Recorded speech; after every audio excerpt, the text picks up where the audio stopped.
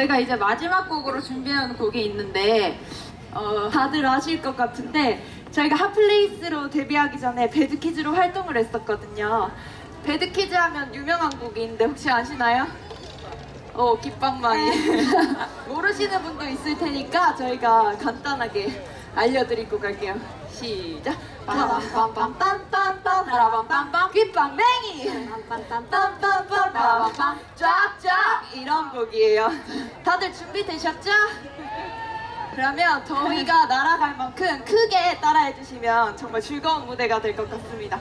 마지 네, 마지막 곡은 깃방망이 함께 즐겨주시기를 바라겠습니다. 네. 그러면 신나게 즐기고 저희는 이만 가도록 하겠습니다. 지금까지 핫플레이스였습니다. 감사합니다.